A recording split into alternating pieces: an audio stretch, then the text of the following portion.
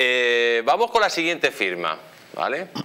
Eh, esa firma, eh, lógicamente, háganos un resumen de lo sí, que... es una, es una firma ondulana con líneas que corresponden al nombre, es una firma que refleja reserva, cierta sensibilidad y ambivalencia e indica subir a costa de lo que sea necesario ese remarcaje... Usted ha dicho que indica subir a costa, de lo que sea necesario. falta. Si tiene que utilizar, digamos, su cuerpo, también sería, ¿no? digamos, eso se trae. Es una trepanata, eh, bueno, en términos vulgares.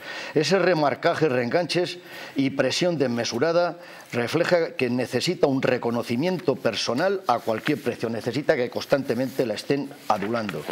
Los óvalos aplastados significan una gran introversión y dan cuenta de una letra regresiva. No admite que le lleven la contraria, fruto de su rebeldía e, e inconformismo, sensibilidad ante situaciones que le resulten injustas, eso sí. La escritura presenta un predominio de arcos curvos tanto en la R, en la E, en la N, en la M y uniones falsas que ponen de manifiesto una persona reservada y con una personalidad ambivalente que adopta sus criterios y los que más le convenga en cada momento. Es decir, que fluctúa entre lo que más le convenga. Si bien es tímida, es de un carácter débil y además es bastante su fortaleza en ocasiones tiene que apoyarse siempre en alto porque es bastante dependiente de los demás.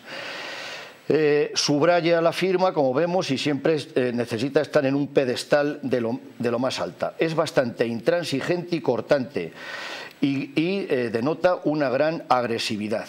La O abierta muestra una introversión, inadaptación, inconformismo al orden establecido.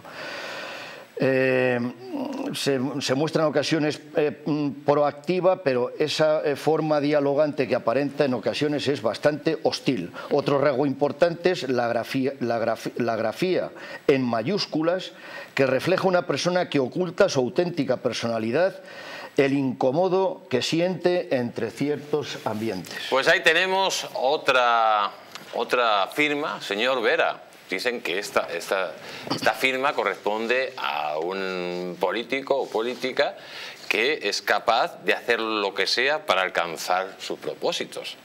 Sí, yo creo que ya también todo el mundo sabe quién es.